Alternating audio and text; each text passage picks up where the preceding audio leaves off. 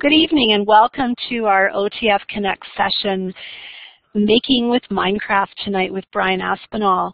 Uh, just before we introduce Brian and get him started, I'd like to introduce Syria from OTF. She's a facilitator and administrator of the OTF Connects program. Yay, Syria, which is uh, alive and well in the province right now and many, many teachers taking advantage of it. She's going to uh, join us and do a little welcome. So welcome, Syria and thank you very much, Susan. And I'd like to welcome Susan um, as uh, our part of our new moderating uh, team this year. So welcome, Susan and Mally tonight. Uh, we're very lucky you have two moderators to help out Brian tonight. Hello, everyone, and welcome to OTF Connect. I am absolutely delighted with the rich program that we have scheduled uh, for you for this winter-spring program um, and happy to let you know that uh, there's going to be quite a number of new webinars that are going to be posted probably later this week and certainly by early next week. And many of them will be supporting teachers in the area of mathematics. So do check the calendar frequently. Um, I'd really like to thank each and every one of you for giving of your own time to join us tonight. It's so wonderful to have representation clear across the province and from the far north. It's wonderful and always great to have new participants uh, joining the group. Um, since we've got a really large group, I want to make this announcement now so that you don't miss it at the end. Um, when you exit the when you exit the session tonight, uh, you will get a link uh, to give us a survey, uh, to fill in a, a, survey, a feedback survey, and um, your feedback is so very important. We read them over and we um, we really value uh, what you have to say to us. Over the last couple of years, people have been asking for certificates. So I'd like to announce that this year um, you will be receiving a certificate of participation when, which you will be able to create for yourself once you fill in the survey and submit it. So please um, make sure you take the time at the end of the session tonight to do that. It's now my absolute pleasure to welcome Brian Aspinall, who will be facilitating tonight's webinar, Making the uh, Minecraft. Brian, um, he's a very knowledgeable and passionate educator. He brings uh, so many creative and useful strategies um, to share with you tonight. He, um, I love the way he makes the, all the curriculum connections. Uh, so without any further ado, uh, Brian, I'll pass the mic over to you. Thank you very much, Syria. Uh, hello, world. My name is Brian Aspinall, and uh, just going through the chat box there, I noticed there's some uh, volume issues. So let's try the poll already. If my volume is okay, can you give me a green check mark? If my volume is a little bit too quiet, give me a red X. Oh boy, maybe I'm too loud couple of questions already. That's okay. Robin and Matt, if you would like to uh, quickly type before we get started, let's make sure everything is resolved.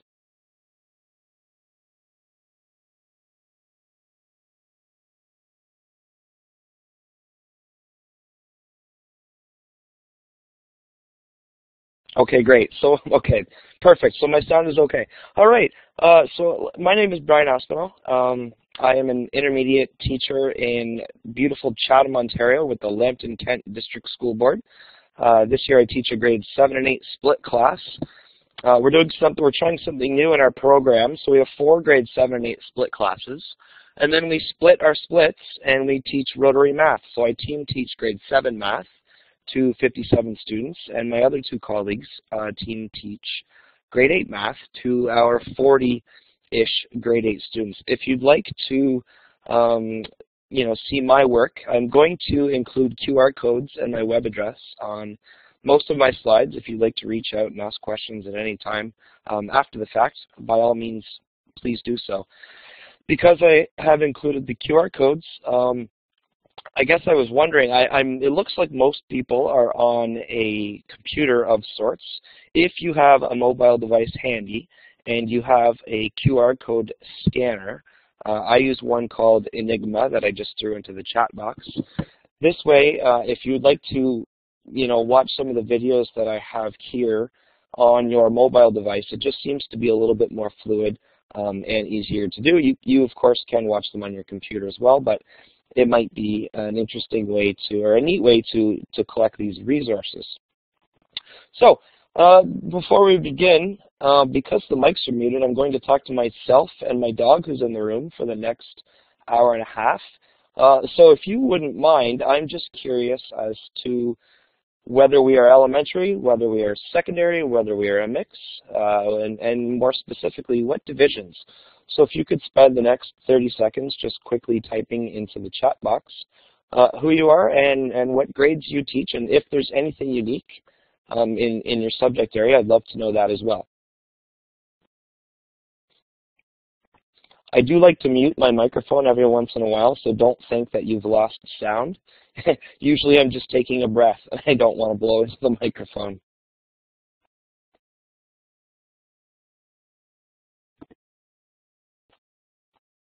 It looks like we have mostly elementary, and it looks like we might be predominantly primary. There's an adult ed. Hi, Christy. Well, some intermediate there, too. Okay, great. Okay, I wasn't sure. Uh, sometimes it can be a mix, as, as we have secondary folk, of course, who are certainly interested in integrating Minecraft into their um, lessons as well. So before I jump into Minecraft, I want to talk a little bit about computational thinking. Computational thinking is a term uh, first defined by Seymour Papert in the 70s and early 80s and it's since come around again since uh, Jeannette Wing from Microsoft has been researching it a little bit further. And the idea with computational thinking is that it's it's a required skill for the future in that kids are going to be solving authentic problems using tools and devices available to them. And as such, they're going to be able to solve problems that they couldn't do prior without these tools. And so integrating these tools into our lessons and having kids think about the technology and how they can use the technology in order to create solutions to, to rich open-ended problems is incredibly crucial. Um, the QR code there will take you to Jeannette Wing's research from uh, 2006 or 2007, where she talks a lot about coding uh, and computer science, but she does make it very clear that computational thinking is for everybody, not just the coder. It's it's a skill that our, you know our future generations will need to to embrace. It's the what I call the critical thinking uh, plus the power of the computer. So computational thinking uh, is sort of the big big umbrella, if you will, and, and coding is a piece of that building things in Minecraft is definitely a piece of that. Crunching numbers and, making graphs and organizing data is certainly a form of computational thinking. You know, using a green screen, um, making videos that way, all, all forms of computational thinking. And yes, Lisa, the computational thinking contest is uh, new this year, I believe. Give me a thumbs up if that's true. Certainly something I'm uh, very excited to check out. Um, I think we're moving in the right direction. There's computational thinking is being taught in many of our faculties of education now. Um, so it, it, will be it will be um, you know rampant to that next generation of teachers as well. Uh, I'm curious though, computational thinking, how do we how do we look at it in terms of assessment? I mean, we, we have thinking in all of our rubrics. Thinking is always a category. And, and combining the ability to think and solve problems using the power of the computer. I really love to use anecdotal evidence to focus on the learning skills. I think that's one area that I'm really passionate about. You know, you can look at the front page of an elementary report card, and if you see E's and G's, you really don't have to open it to see A's and B's. There just seems to be this correlation. And so there's a lot of discussion at our school. You know, if a student has S and N's on the first page, odds are uh, we're looking at C's and D's on the inside. And so if we reshift our focus and focus solely on soft skills, you know, maybe little Johnny's math mark will improve if we work on his organization. Maybe there's a direct correlation there.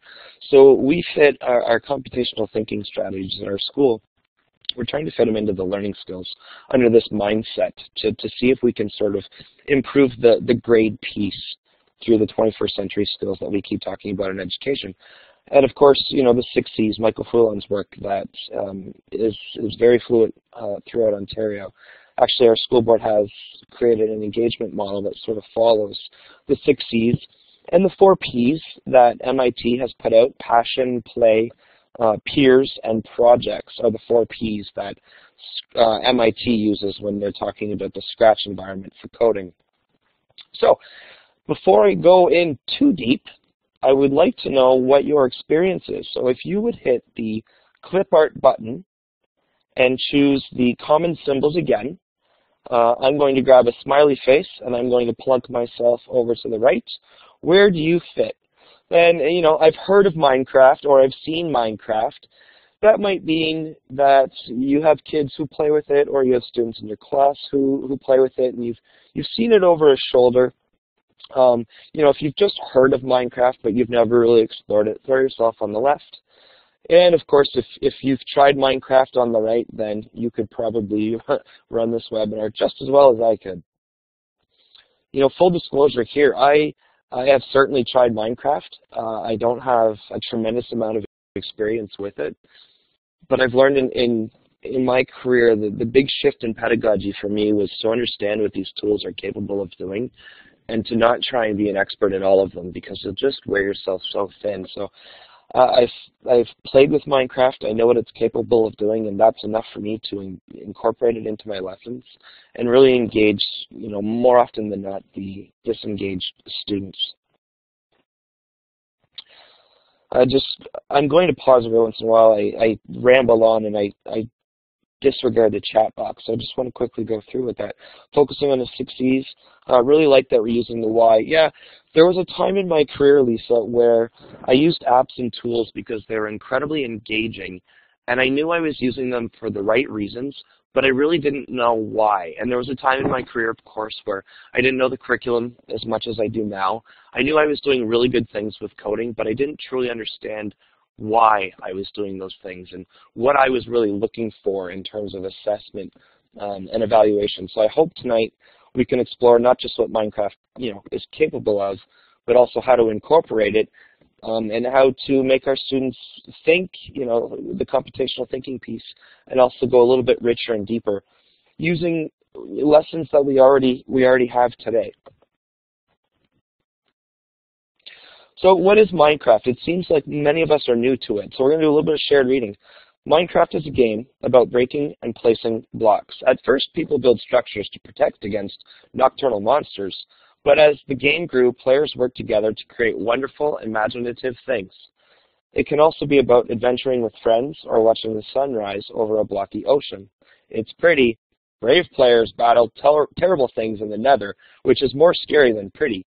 You can also visit the land of mushrooms if it sounds more like your cup of tea. When people ask me what Minecraft is, I describe it as an infinite Lego with the same size blocks.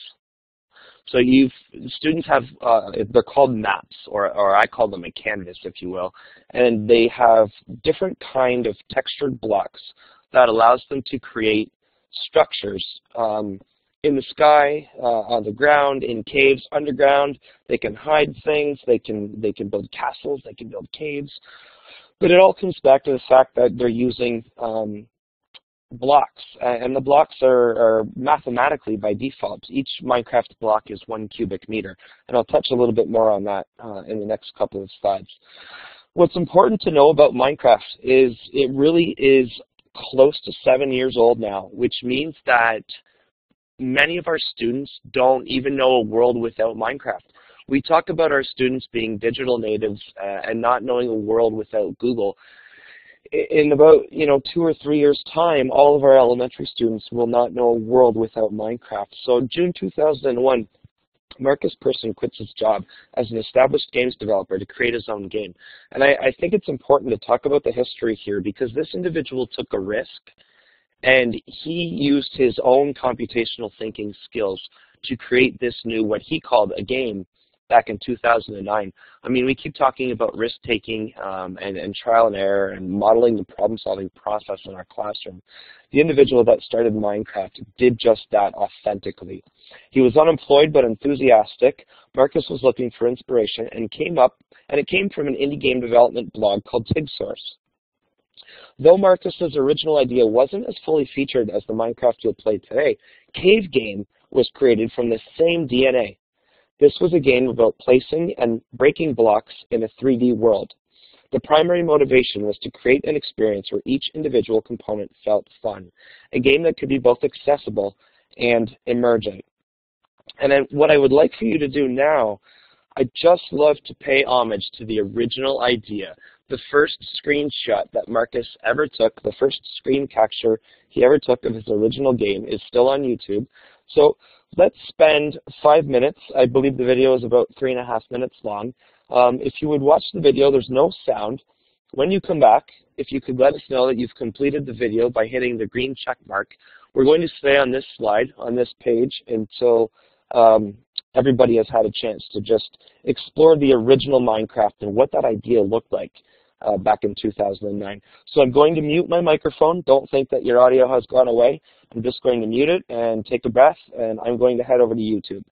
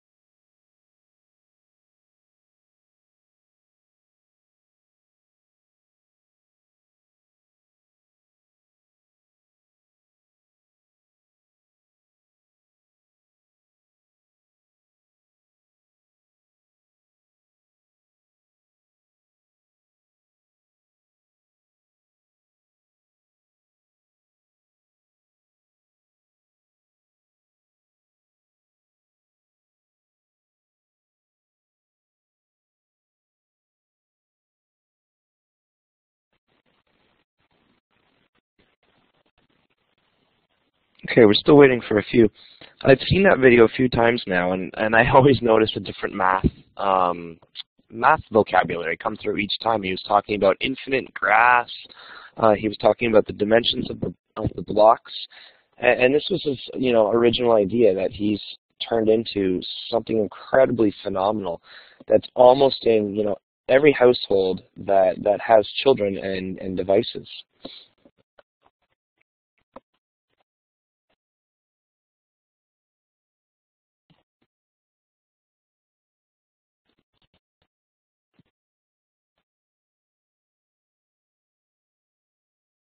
And uh, the green check is the fourth icon under your name.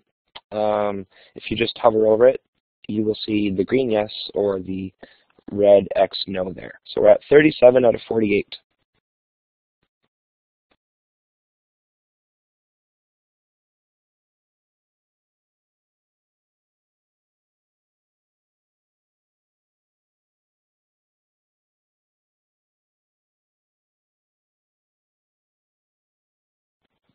Uh, Christine, no, there was no volume in that video. I was just referring to the explanations in the video. Um, Markus, when he was creating that, that video, because there was no volume, he was sort of writing down some of the explanations um, you know, in the video as kind of sticky notes, I guess. And there's a few math, math words that jumped out at me, and I just think about how he used mathematics uh, to create what he what we now know as Minecraft, called the original cave game uh, back then.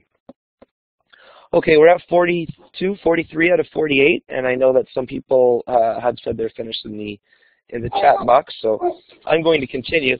So Cave Game blew up. Uh, it went viral, and I'm glad that it did because Microsoft caught wind, of course, and in 2004, Microsoft purchased the, the company uh, for $2.5 billion. And for us as educators, uh, I personally think that's probably the best thing that could have ever happened to not only Markus, but to us, because Minecraft and Microsoft are now working on this community to create and develop resources for teachers to use Minecraft as a teaching tool. And I'll touch upon that a little bit later in the slides. But you know, if, if this hadn't happened, I don't know if Minecraft would have remained a game. I'm sure there would have uh, there would have been a grassroots movement of educators who would have created the content on their own. But Microsoft has really taken advantage of this. So I look forward to what they plan on doing with it later on. Uh, due to the fact that many of us were new, uh, there are quite a few videos in this webinar because Minecraft is a paid-for tool. Uh, I wouldn't assume that everybody had access to it from the get-go, so I've done my best to curate what I think are some of the best descriptive videos about Minecraft to kind of give us idea of what it what it is. Now, this one is a little bit lengthy, but I, I think it's important. It's a young person talking about this mansion that he has built but he talks about why he put certain things where they are throughout the mansion. And when I think back to the computational thinking, he really has a, justific a justification. He pitches his ideas so well in this video without, uh, you know, I don't know that he, those were his intentions. Um, I think our students nowadays with access to the internet are really learning in depth what they are interested in. And this example is one of those cases where this individual is so in love with the Minecraft world that he's created this mansion and he talks about symmetry and he talks about textures and he talks about math and he talks about spatial awareness without, you know, without knowing that that's what he's talking to. So as you watch this video, and it does have audio, uh, I would like if you could listen to his talk. Listen to the math talk and the real world applications. It's very authentic what he's done. Um, I'm going to mute my microphone again and I will see and hear you all, or I guess I won't hear you. You'll hear me in about 15 minutes time. So in about 15 minutes after this, this mansion tour, come back again to this slide and please click the green check mark.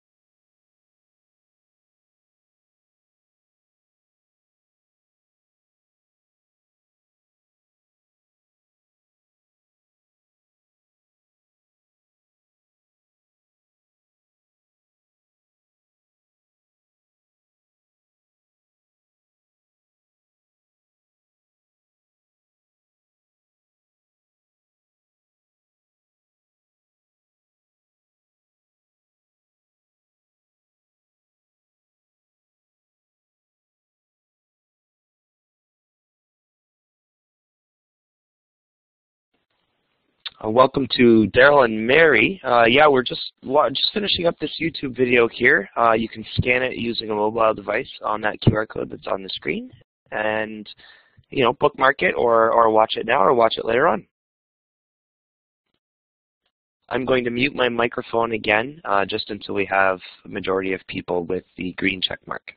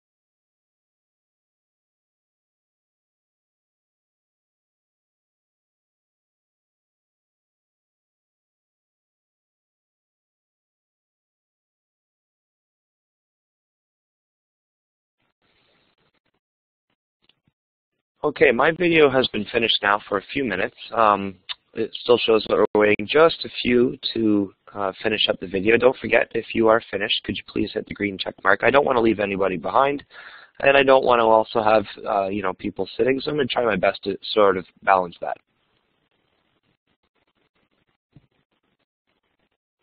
And I have no idea who Stampy Longhead is, so please explain that one.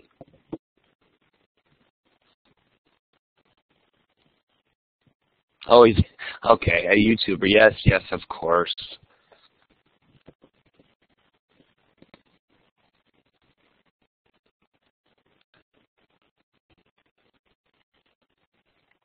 You know, we were talking about pathways in my grade 8 classroom the other day, and YouTuber is now uh, a career opportunity. You know, being a YouTuber is now something that, that our students aspire to do and to be.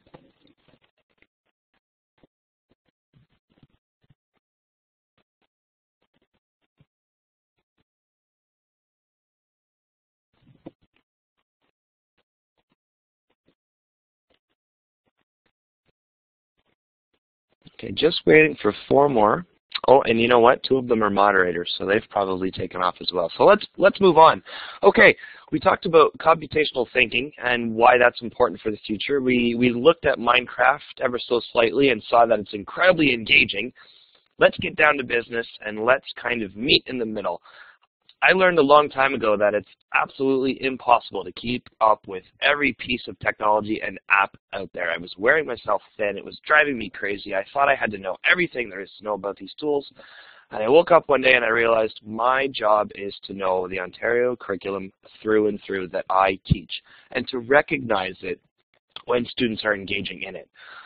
So when I see students building things in Minecraft, it becomes teachable moments because I know my grade 7 and 8 curriculum and I can sit down beside them and I can have those, those conversations about what it is they're doing and what it is I'm actually trying to teach them at the same time. So using the text tool after watching that video, let's just brainstorm some ideas. What curriculum connections did you make to your grade level just watching that video?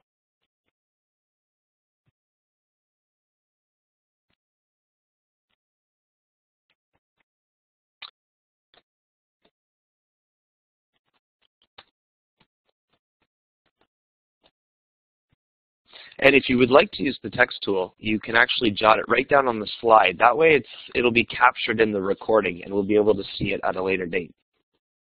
So the text tool is right above the image tool that we used early on.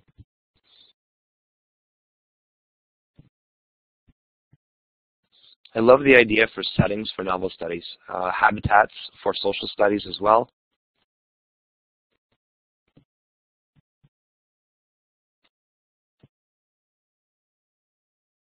Describing locations in French.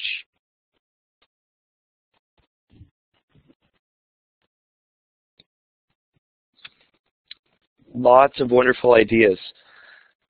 So I guess the point I'm trying to make is sometimes we have this preconceived notion of play carrying a negative context to it a lot. Um, I, I remember vividly a few years ago doing some coding things with my students and being questioned from parents and, and you know colleagues. It, it looks like we're playing all the time, and and I'm not sure when play sort of carried that negative context or when it sort of shifted. I think it's shifting back now. So even if we just were playing on Minecraft for an hour, we would be covering all of the big ideas that you have mentioned here.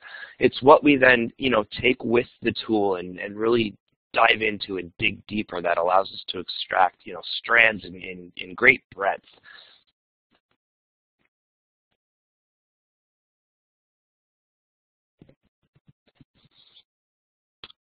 In grade one, uh, it looks like this. I grabbed this from the science curriculum in grade one. Objects have observable characteristics and are made from materials.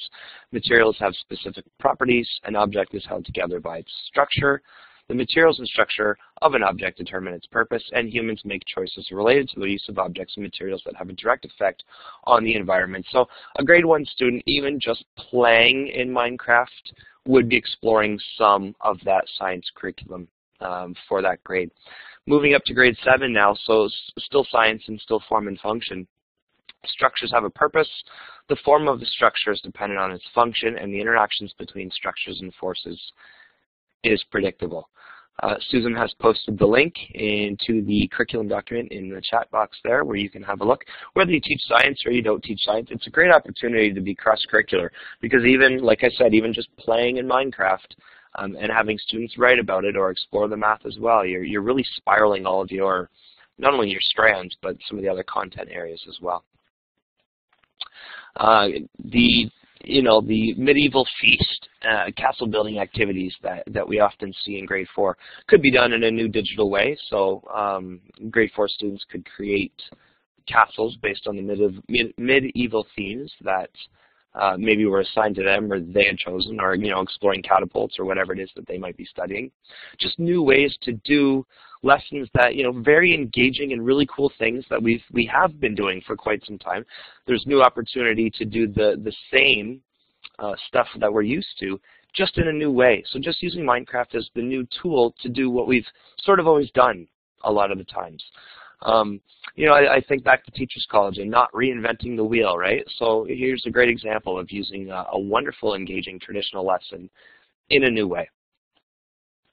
I want to move on and talk a little bit about redstone. Redstone is a mineral in the Minecraft world that up until recently was only available on the full version on the computer, uh, and due to a recent update is now available on all of the mobile versions. So all versions of, of Minecraft, to my knowledge, now have redstone. And redstone is something that kids have to collect and save. They mine for it. And it allows them to do some really cool things by linking it together. Um, I thought I would try my best to explain it, but I thought it would be even cooler to have a very young student explain what redstone is. So it's a very quick video again. Uh, head over to YouTube, listen to this student's description of what Redstone is and how it's incredibly important. Um, I just want to talk about the financial literacy piece of that uh, in here in Ontario. So we'll come back together here in about a minute and a half.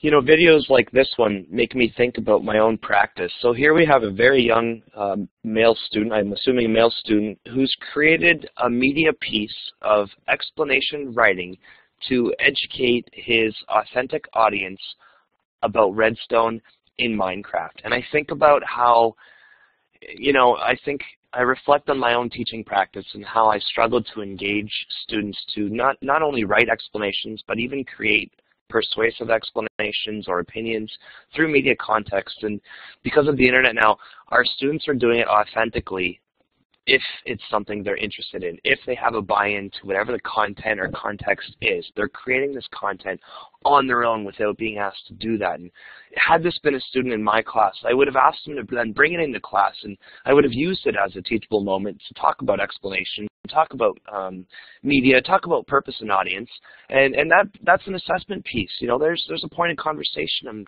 uh, and I can offer him next steps about a video he's created on his own because he wanted to do that because he has his own online following.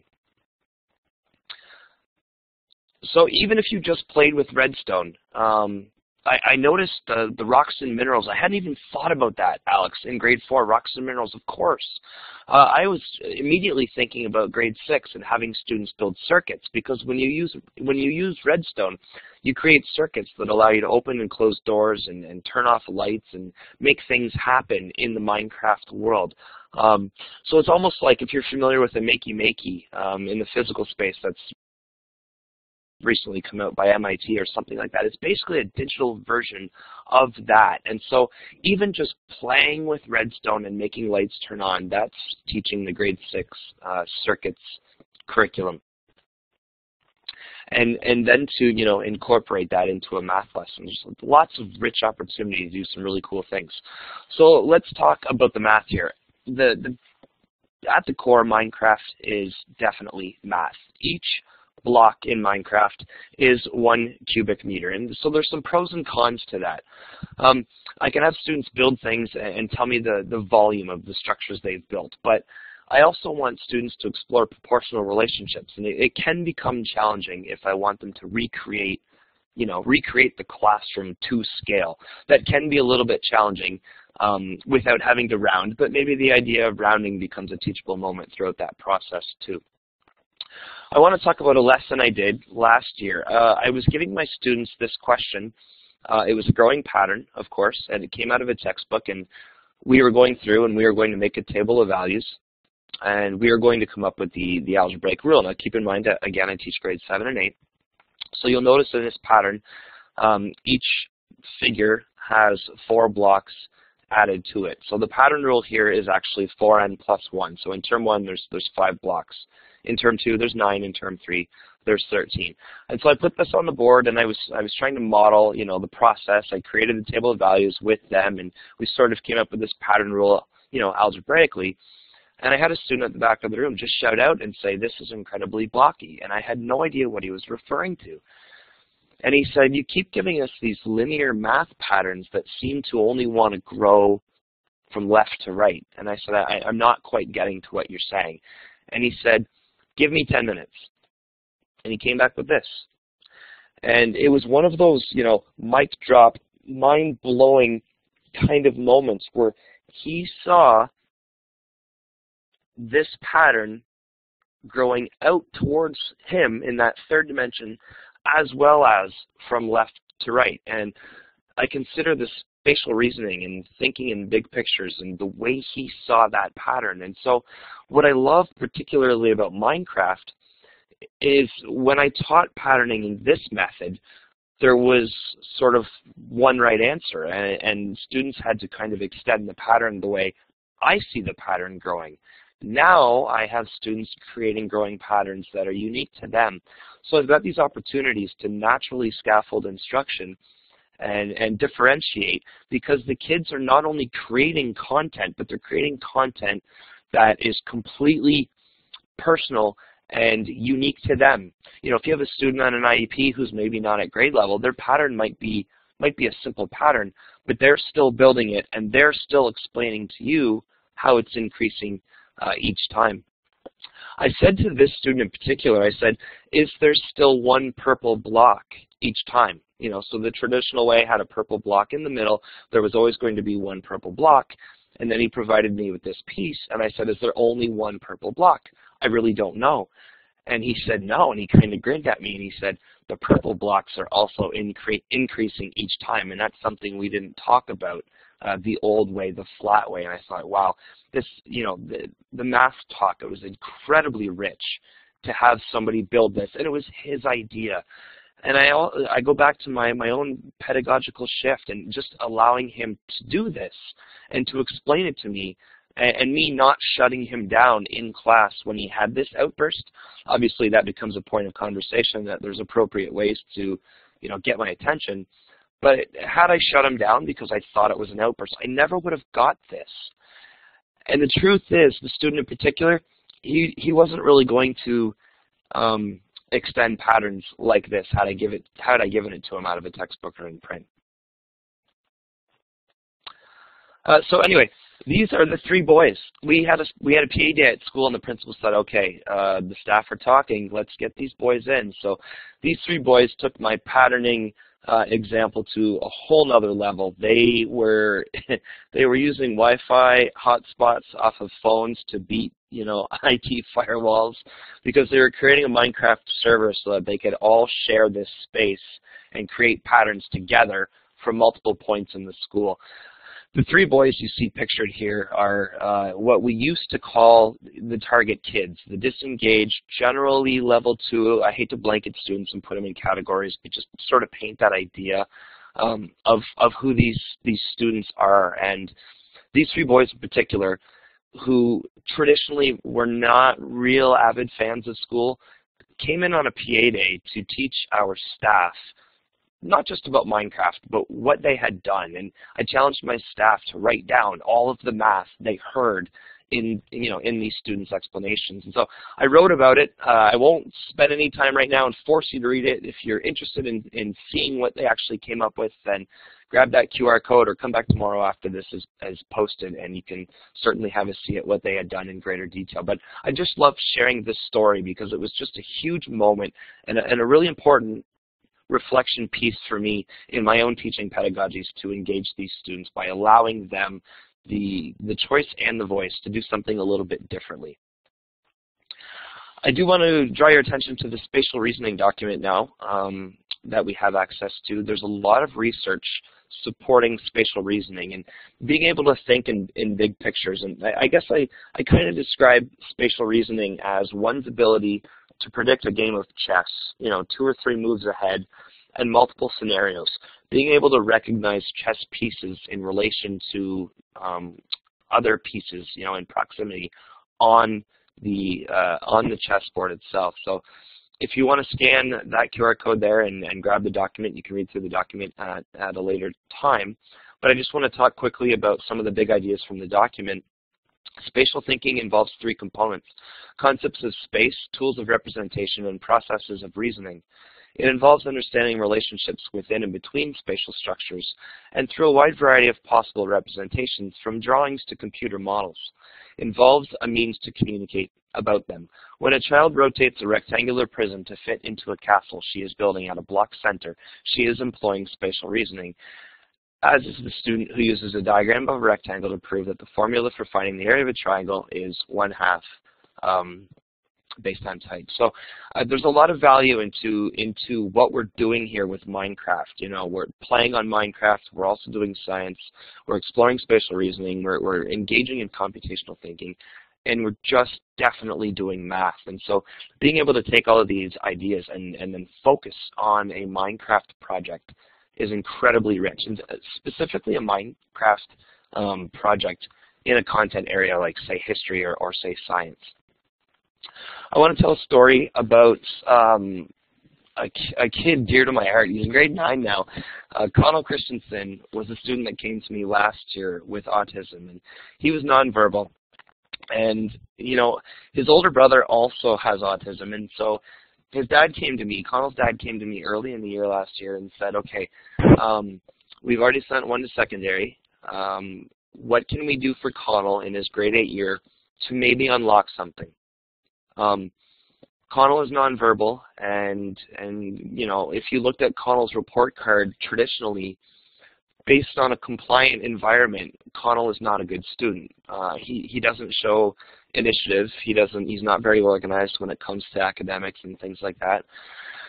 But if you look at Connell in a different light, you know, if you look at Connell and and really focus on what he is interested in, and, and keep in mind the autism piece, he was organized and he did demonstrate initiative, but it had to be something relative and authentic to Connell's world.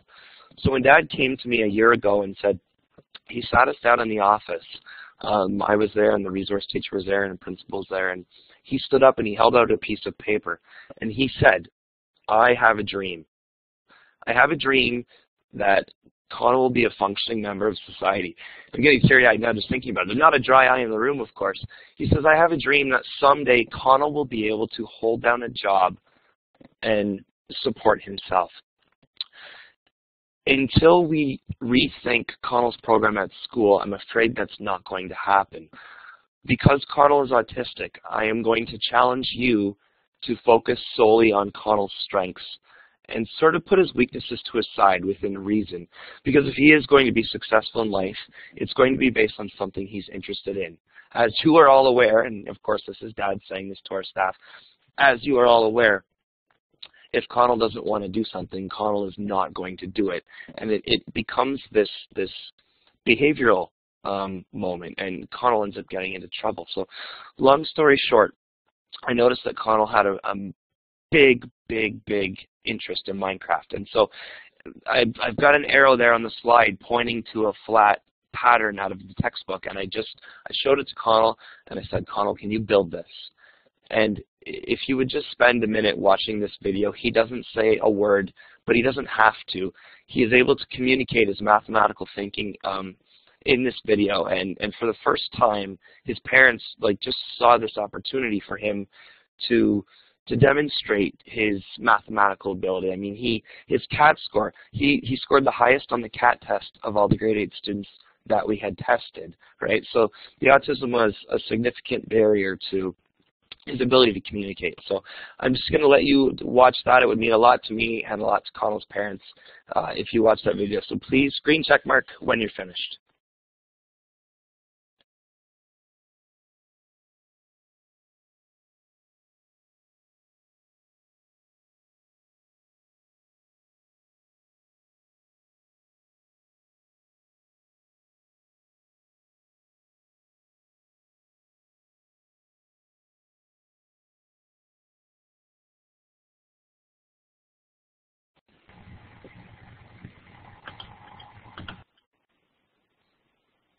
Okay, um, so back in my homeroom class, um, we thought we, we're not going to stop there. We, we need to keep rolling with this. What can we do? So I challenged them to create a game in Minecraft. Uh, I was also the science teacher, so we were looking at structures. Our school is a year one, year two, so all of our intermediates were doing the, the structures year. And I said, let's build something really cool. It can be a castle with 10 floors. Each floor can have a pattern. Uh, the next floor has to have a pattern that's a little bit more difficult than the previous one. Maybe you want to build 10 different castles where there's only one room in each castle, but each room is going to house some sort of growing pattern. You're going to have to explain the pattern. You're going to have to give clues uh, and put signs in this Minecraft world and build something unique, and then you're going to present it. So this this was actually their idea, not mine. So we built this whole this whole um, project around these curriculum expectations. So the top two big ideas in science, of course the bottom three are the math expectations for grades 7 and 8. I, I won't let you watch this video because I talk too much and we're running out of time, but hopefully on the recording you can come back and look. This was a student in my class with a learning disability. She has an IEP, and she created a very simple pattern in a castle, um, but she was so proud of it. She had something tangible, something concrete that she was able to produce. And so it, it was such it's such inspirational and, and makes me really think now about assessment and evaluation because now I've got tangible concrete evidence from a student on a regular program who's only accommodated. And how am I to evaluate her? How do I, assessment's easy. I can give her next steps. I can encourage her to, to keep moving. But when it comes to evaluating her, how do I evaluate her on a grade standard, you know, when she's created this really unique piece of art? So that's something I'm working on in my practice, and I would love it if you would reach out to me and sort of guide me on that journey. How do we, we're, we're personalizing learning, how do we personalize evaluation? Um, I had one student take this project and hide the patterns throughout this massive world, and then she turned it into a narrative story where you had to solve riddles to find the next pattern. And when you found the pattern, you had to solve the pattern rule in order to get the next clue in order to find the next pattern. And it continued forever. And I thought, how incredibly rich is this? And when I think about computational thinking again, she created something really cool and unique to her own um, strengths and needs and what she needed to get out of this project rather than the, the one-size-fits-all um, model. Just this week, we did an EduGains uh, lesson with my grade 7 students about surface area. So uh, again, I won't spend a lot of detail on this because I want to show you some really cool Minecraft resources that you can take back. But basically, students had to rearrange 24 cubic meter blocks on a flatbed truck and come up with the most efficient um, load, the most efficient cargo load in terms of surface area, and then they had to pitch it to the rest of the class. So it had to be a little bit persuasive. So why, what made it the the best way to load the cargo. So our goal here was to teach that the volume wasn't changing. It was always going to be 24 cubic meters, but there's different ways you can orient that, orientate that, and so the, the surface area will change. We had some students use uh, linking cubes we had some students draw it. We gave them the choice. You must demonstrate this as best as you see fit. Now, uh, my current students, sort of the same profile as the ones I was talking about before, they built the trucks in Minecraft. So not only did they have to actually build the, the volume, uh, sorry, the, the, the cargo piece of it, but they were building the trucks as well, and, and they weren't duplicating them. They were building them again, you know, from scratch and creating this tangible piece of evidence. Um, this one in particular, this student, uh, he must have spent an hour building these four trucks, and he came back and he said, okay, um, I know that the volume is 24 cubic meters on the cargo load at the back. I have no idea what the surface area is because it took me so long to build it. But there was the buy-in for him. You know, he was engaged in the process of, of exploring this. He didn't know what the surface area was, but he knew it was different in each case, and he knew the volume was constant. And that was kind of the big idea of the lesson. I mean, we really wanted them to find the surface area as well, but our goal here was to understand that surface area can change while volume remains constant. I've had students in the past um, build things in Minecraft to scale, talking about proportional relationships. That might be another example of something you want to do. Our, our art teacher took student art, they digitized it, then they pixelated it, then they rebuilt it in Minecraft, which was incredibly powerful. I think if you are going to go back to your school and incorporate Minecraft, the, the product of what students create in Minecraft is certainly important, but the process certainly outweighs that in terms of significance. I think if you're going to use the product that students come up with in the Minecraft world as a an evaluative evaluative piece, then certainly assess the process and, and look at the learning skills and look at how well they collaborate and things like that. Um, I have students who are using the same map throughout the year, so if they're building patterns um, and then they're adding you know other things to it, it's kind of becoming a portfolio. I didn't envision this.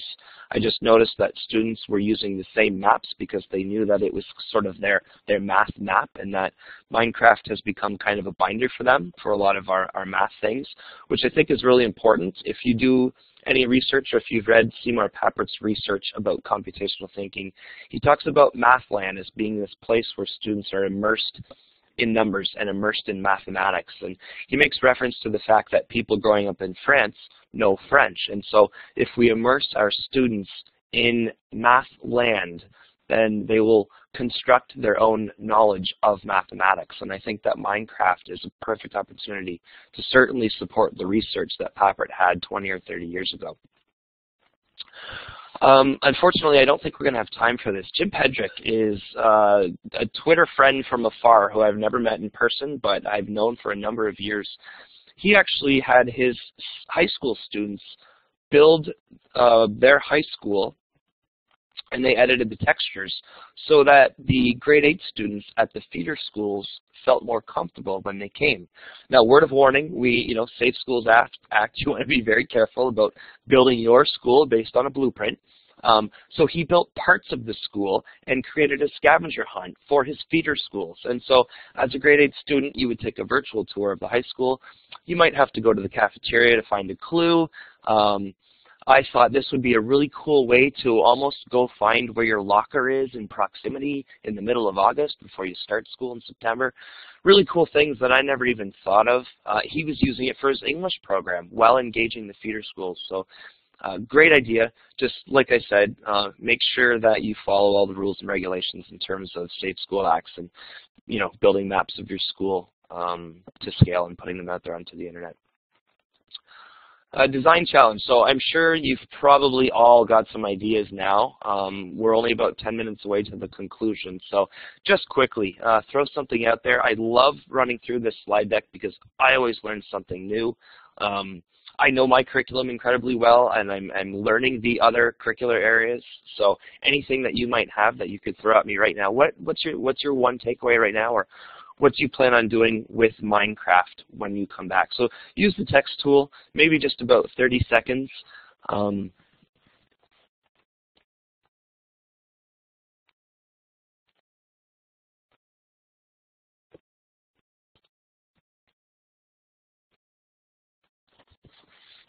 a friend of mine is a history teacher, and um, so where we live here in Chatham, we have the Thames River, and so students are rebuilding Thames River so they can actually go back and explore what the War of 1812 might have looked like.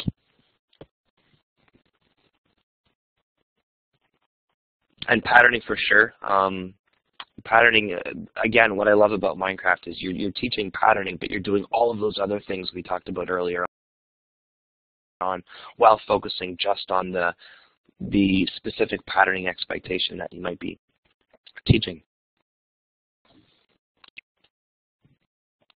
Story starters for disengaged writers. I love it. I love the idea of building build the setting. You know, what does this look like? Are we in the desert? Are we are we in you know the neighborhood? Are we at the park? What does it look like?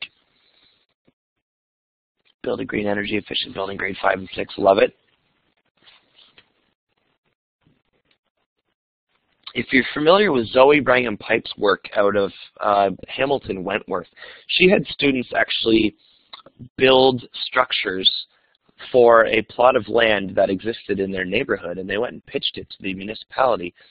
And they actually voted on the structures and went out and built them. So students actually um, designed and, and, developed these things in the Minecraft world and then pitched it to, to the township. And the township turned their ideas into authentic structures that now exist in the park.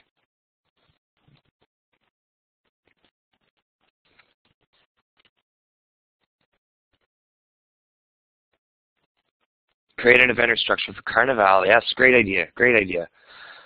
Okay, I'm going to advance the slide again. Um, these ideas will remain, like I said, so when you come back and watch the recording later, they will be there. So how do I get this thing? Pocket Edition. I had to edit my slide yesterday. A week and a half ago, the Pocket Edition was $8. Now it's $9.99 on iOS. But it's there. So we have Pocket Edition on the iPad, we have Pocket Edition on Android, and we have Pocket Edition on uh, Windows tablets. And due to the recent update, they all have redstone. So there are some limitations to the Pocket Edition that I will talk about briefly, but everything that I have shown you tonight can be done on these tablets. Uh, my classroom has iPads, so we predominantly use Pocket Edition on iOS.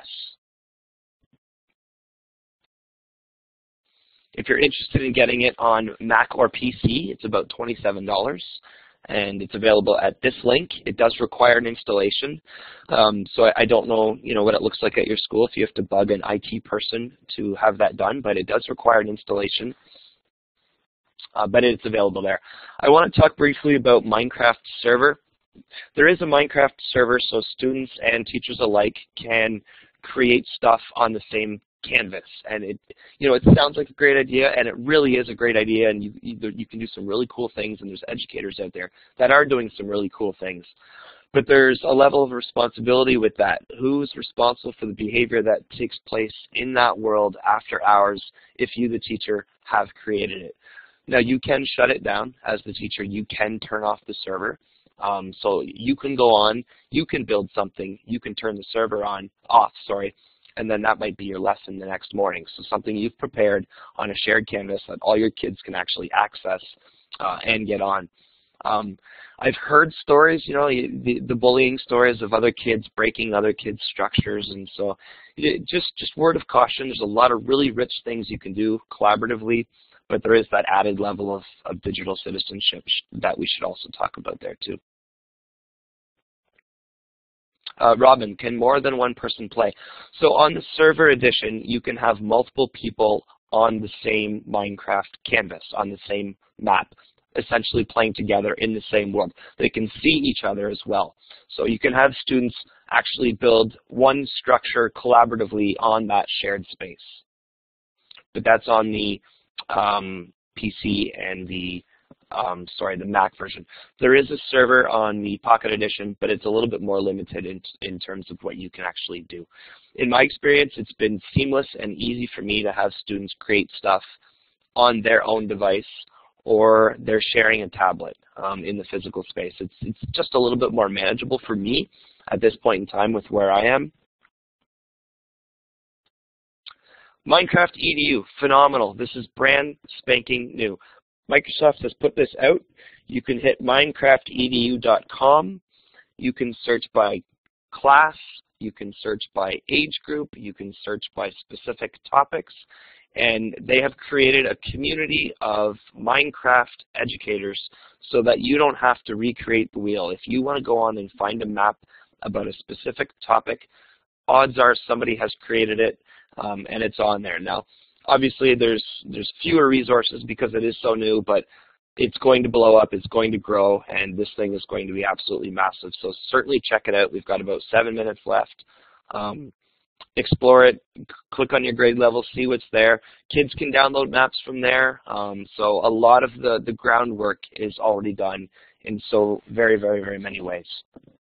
On that note, I'm going to say thank you so very much for listening to me, uh, as well as my dog who keeps staring at me because he has no idea what's going on.